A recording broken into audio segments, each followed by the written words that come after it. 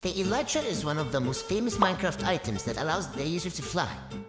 But did you know that this was not Mojang's first attempt at flight? So on September 11, 2000,